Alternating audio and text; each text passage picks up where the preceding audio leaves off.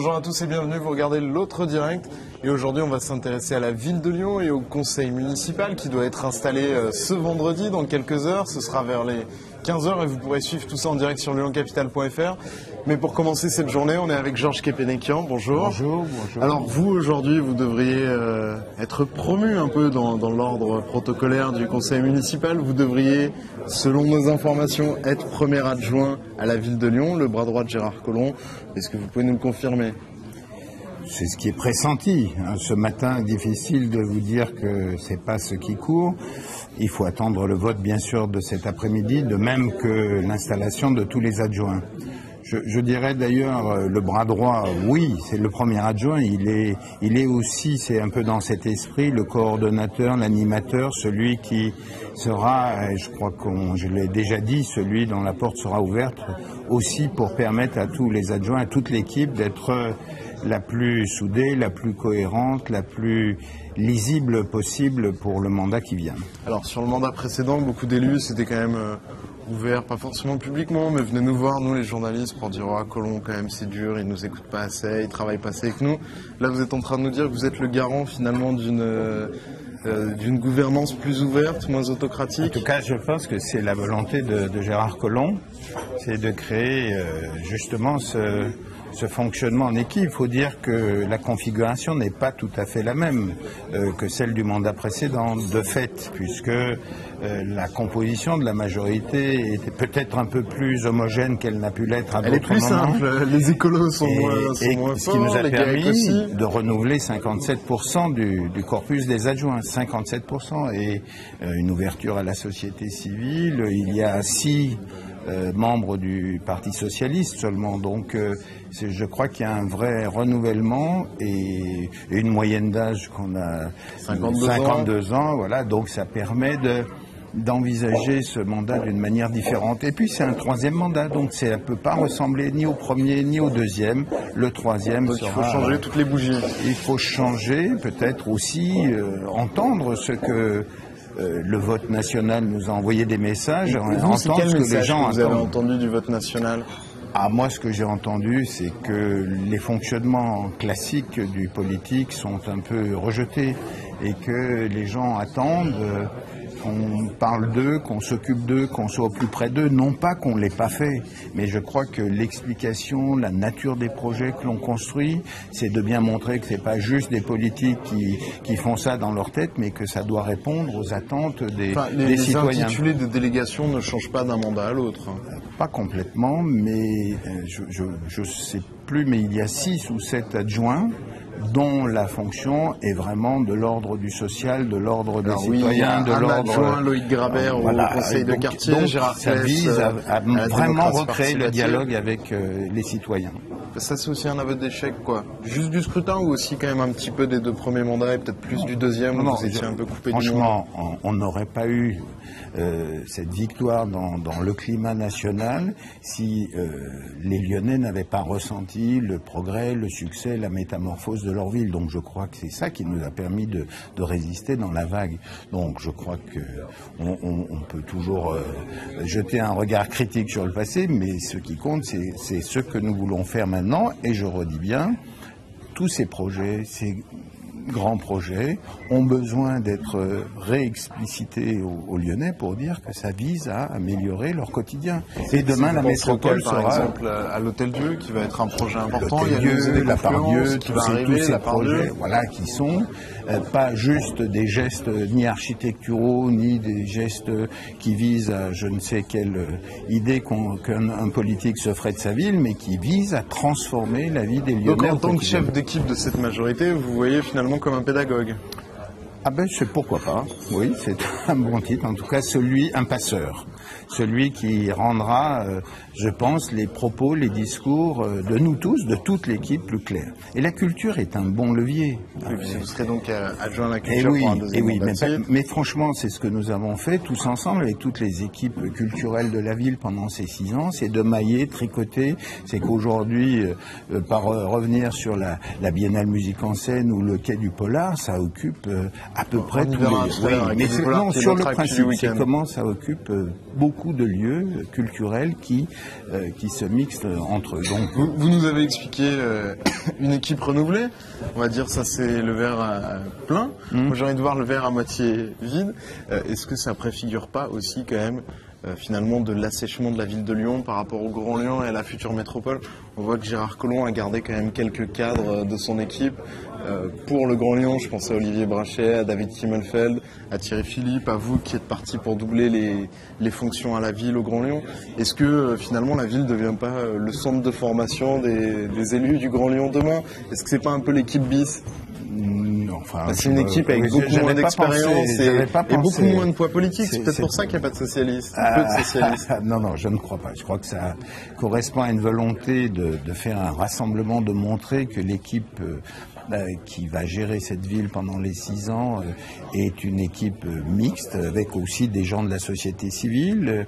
des, on les gens d'expérience au Grand Lyon mais on les trouvera des deux côtés. Il n'y a, pas question. Le Grand Lyon, il se fera pas, il se fera pas sans les villes, que ce soit Lyon, euh, Villeurbanne, euh, Saint-Fond, euh, Saint-Priest. Enfin, je vais tous les citer, mais c'est aujourd'hui, on est et la future métropole ne peut pas se faire juste avec une équipe qui transférerait de l'autre. C'est vraiment plus que jamais, on a besoin de cette grande transversalité, de cette dynamique. Ce sera qui le vrai patron de Grand Lyon, la ville je pense que chacun dans son rôle aura besoin d'être bien géré. Mais ça, sans frontières entre les deux. On voit aussi dans la tribune des adjoints qu'il y a entre guillemets des, adjoints factices. Euh, euh, par exemple, je pense euh, à la personne qui va hériter du tourisme, qui a une compétence qui déjà est plutôt exercée par l'Office du tourisme, une, une compétence qui a été transférée dans son intégralité au Grand Lyon. Oui, mais euh, ces gens-là qui ont des, doubles compétences, à quoi vont-ils servir en tant qu'adjoints Je pense que j'aurais, par exemple, la culture et le tourisme,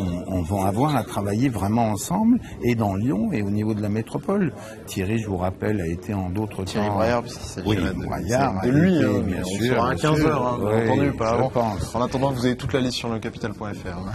Oui, elle est à peu près fiable si j'ai cru le, j'ai cru le comprendre. Euh, donc Thierry a aussi une expérience euh, du tourisme. Je, je crois qu'il ne faut pas regarder seulement les portefeuilles ou les responsabilités couper les unes des autres. Je crois que plus que jamais, je le redis, il faut que tout le monde puisse euh, se mixer et, et avoir et montrer qu'on travaille ensemble. Donc euh, les compétences, elles sont individuelles, elles sont aussi celles des équipes administratives, elles sont plein de choses. Donc euh, non, je ne crois pas qu'il y ait l'idée de transfert de, euh, des meilleurs ou je ne sais pas des plus des plus anciens, des plus aguerris. vers les plus expérimentés. Ça, Mais les autres communes vont faire pareil. Pour revenir un peu sur quand même la soirée électorale de dimanche dernier, ça commence ça paraît très très loin, mais c'était juste hier. Pourtant, euh, vous avez gagné Lyon comme en 2001, comme en 2008. Euh, finalement, si on devait faire une hiérarchie dans les victoires, quelle est la plus importante, quelle est la plus belle, quelle est la plus émouvante Vous avez connu 2001, 2008, 2014. chacune avait son, charme. On a senti quand même 2008 une victoire froide, raisonnée. Euh, ben, moi, évidemment. Je vais vous dire, moi, c'est manqué un peu de passion. Non, c'est pas de la passion, mais quand beaucoup de vos amis ne sont pas reconduits et quand même euh, les villes à la périphérie de Lyon ont, payé un lourd tribut, euh, c'est vrai que la victoire était moins, euh, comment dire, moins enthousiasmante. Moi, moi, j'étais marqué par par Dessines, par Rieux, par même à Bron, c'était, c'était, ça donnait, ça laissait un goût amer. Je ne parle pas de Saint-Priest. Martine David d'ailleurs a fait une analyse très pertinente de, de, la situation. Bref, on était un peu dimanche soir. Quand vous gagnez, vous aimez bien que tous vos amis gagnent en même temps que vous. Donc c'est ce qui donnait un peu ce sentiment. Néanmoins, la victoire de Lyon, dans le climat justement, est une très belle victoire. Donc dans notre fort intérieur, je trouve que l'effort qui a été réalisé là par une campagne de, dans les arrondissements, peut-être moins visible pour vous d'ailleurs. Euh, on nous a beaucoup dit, mais c'est quoi cette campagne que la campagne n'avait jamais vous savez qu'on a, on a tapé 75 000 portes dans, ces, dans, cette, dans, dans toute cette dernière course. Quoi. Donc il y a eu une rencontre dans les arrondissements au plus près des gens et les portes sont refermées. Toutes n'ont pas été, bien sûr, accueillantes, mais c'était quand même un exercice remarquable. Donc, je crois une campagne très différente de celle de 2008. un premier arrondissement qui est un peu. Oui, vous avez perdu votre bras de fer avec Nathalie Perrin-Gilbert. Oui, oui. Blessure oui, oui. d'orgueil maintenant pour vous Je Elle, l'avait avant, c'est vous qui l'avez maintenant je- Sincèrement, je crois pas. Les, les habitants du premier.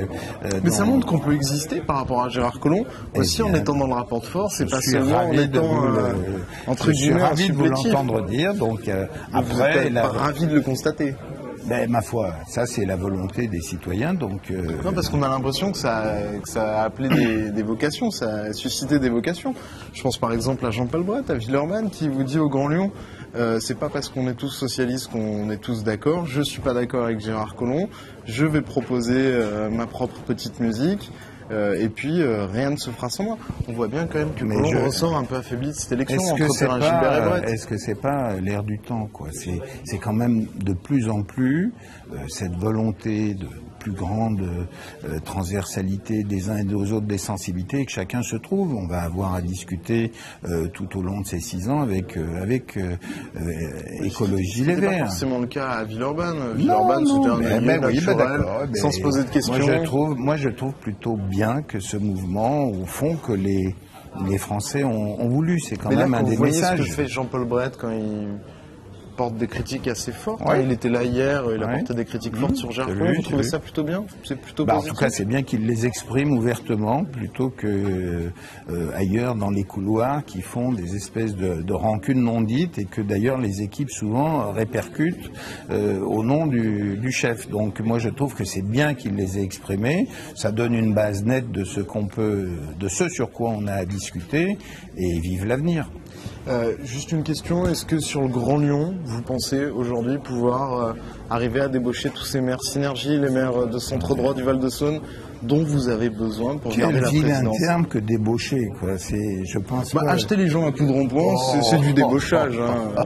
C'est- oui, On va, on va pas jouer sur les mots. Si, Alors je sais qu'on est dans un week-end littéraire et qu'il y a du polar ce week-end, qu'on pourrait jouer sur les mots. Oui, on pourrait n'a plus le temps. on On n'a plus le temps, il ne faire. reste plus assez de temps, Georges. Pénéquian. Donc oui, c'est du débauchage. Non. Oui, ils sont achetés à non, coups de je rond-point. réfute catégoriquement ce terme. On n'a jamais forcé personne, et même avec des ronds.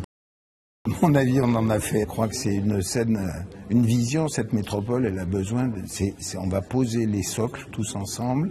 Le socle, la métropoles qui fonde. marche où le maire, le président de la métropole n'est pas le maire de la Ah, Sur la base de ce, de la nouvelle loi, non. C'est Ah oui, vraiment. puis c'est une nouveauté. D'accord.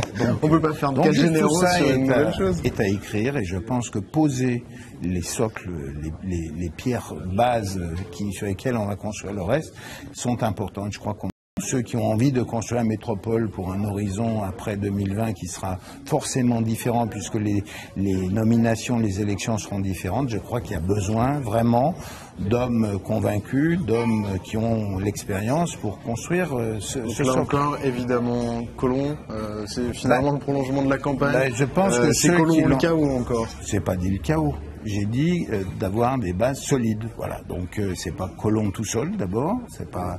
Je crois que si la déclaration euh, que Jean-Paul Barrette a toujours trouvé un peu désagréable, mais au fond, euh, c'est quand même. euh, euh, je crois qu'ils ont réussi avec Michel Mercier cette, ce, coup, il faut le dire quand même. Je crois que ça dénote d'une vision et d'une vraie projection. Bon, d'autres peuvent l'avoir. Je ne veux pas dire qu'il n'y a que Gérard Collomb qui pourrait faire ça, mais en tout cas, c'est pas le plus mauvais pour construire cette métropole de demain. Merci beaucoup Georges Kebenekian. Et euh, cet après-midi à partir de 14h30, 15h, vous, sur Lyon Capitale, vous pourrez suivre en direct la séance d'installation du conseil municipal. Bonne journée, au revoir. Et le cas du polar.